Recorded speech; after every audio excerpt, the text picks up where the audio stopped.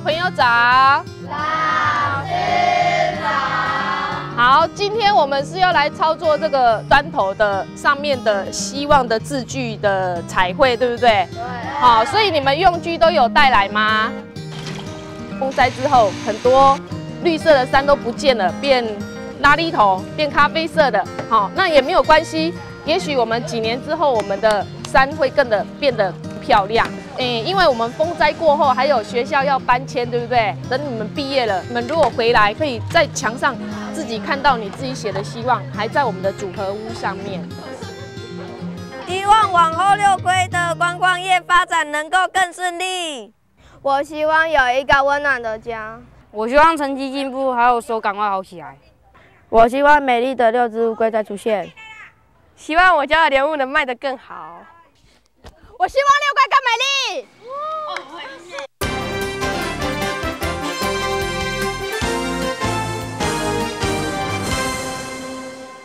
海地大地震，全世界同感震惊跟哀悼。今天的在地观点，我们要带你到八八重灾区高雄六龟。虽然灾后已经五个多月了，可是仍然可以看到大自然破坏的痕迹。就让我们一起来关心现在居民的生活。我们这边，嗯，种那芒果的啊，还有那黑钻石莲雾，那我们有的是批发到台北果菜市场。他有的是在路边啊，用个雨伞，要摆个小摊子。哦，当时那游客礼拜六、礼拜天哦，车子很多。我们从我们新花村哦，然后村头还有村尾，然后总共差不多快二十摊的卖水果。那那个八八水灾之后啊，生意有有很大的哦，差很多。因为我这边呢，一半都是在不老温泉还有宝来温泉上班的员工。他现在整个。路段、桥段，整个里面的饭店啊，一些温泉民宿，整个都没有人了。啊，现在他们都没有工作，也都很可怜。只是说，现在我们乡公所还有县政府有那个八八零工，不然真的不知道怎么办。喂，好喝，喝喝，喝安利格吗？好喝，谢谢。不是欠钱，需要工作，需要外面的游客进来，因为你。我们人也是有自尊心啊！你你一直捐钱，我给我们，我反而对我们自己也不太好。我们需要一些游客进来，他带给我们工作机会，我们自己赚钱比较好。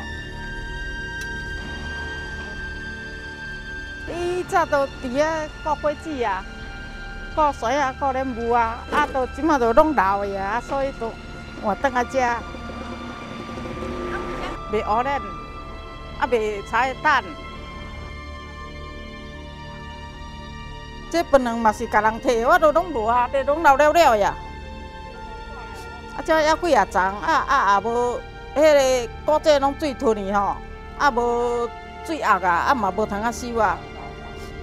我那我那种迄只阴静的啦，啊家来伊都讲青啊吼，足无人爱吼，啊都挂来我讲叫我甲卖啊，我都甲卖啊。我平常时足乐观，啊是讲即摆讲啊，就想到安尼会会会流目屎，规片拢流了了，无遮无啥人无介好啦。嗯，啊无我大老岁仔要早打，无人请，啊嘛无工课做啊。少年的都咧因无工课，啊老岁仔要对做，啊毋知爱安尼，啊无到都想讲即年若过了，都毋知要安怎。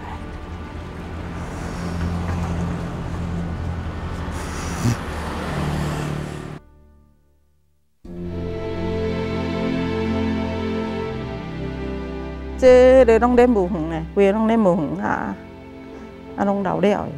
都以早吼，阮老岁仔都原来买买伫遮的啦，啊啊伊伊骨趁的也是买伫遮的啦。拢这规拢安尼啊，规老了了啦。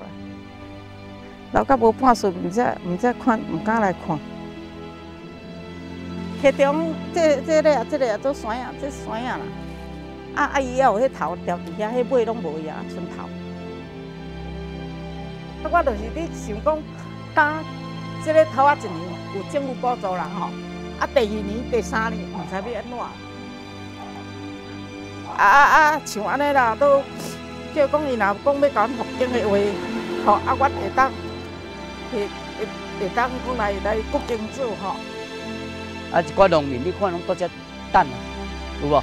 像即种多只自己拢多只等等等，唔知要安怎，唔知对，无工课做，啊无只会搁命。啊，要做要种，即目前伊像起有水，啊要种做嘛未种得啦。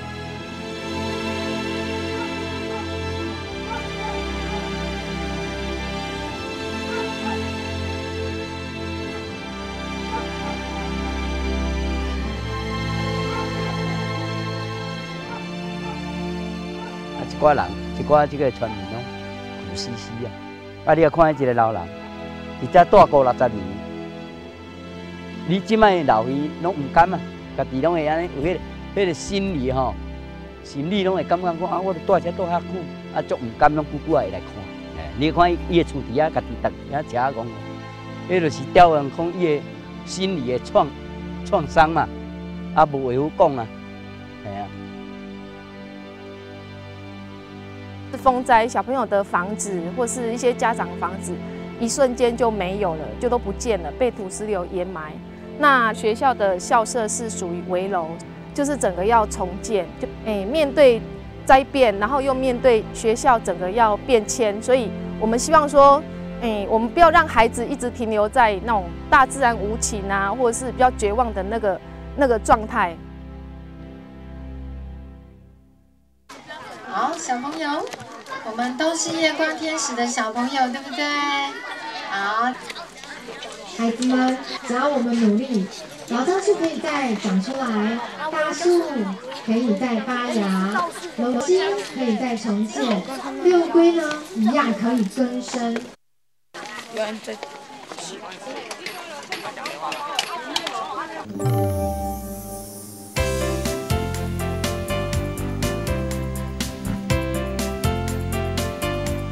好，我们今天已经来到天台山了。我们今天呢要来做，把那个你的希望写在这个上次你们自己做的砖头上面。诶，其实这个课程是上学期我们就开始在做学校的一个造纸艺术。那因为整个六龟它跟林业跟伐木有很深的渊源，那这个是六龟一个非常重要的历史，所以我们希望说，比如说芒果树裁枝下来，枝枝干裁枝下来之后，我们是不是可以再环保、再续利用？那我们是用废纸回收再利用，然后做成一个希望砖。所以，诶，一方面希望砖是希望他们可以写出他们自己心中的想法。要一边压一边拍，哈。诶，其实大家一方面大家都一直在注重整个重建的工程。那像六龟大桥重建啊，或者是整个那个变道抢通啊，哈。那所以。孩子的这一块，他们的一些希望是没有你去注意到的。小孩子心灵重建这一部分，我觉得是很需要的。他们可以比较正面的去面对整个大自然的气候的变迁。我们可以看看这一块土地之后的一个重生的变化。我爱六龟社，这是我的希望砖。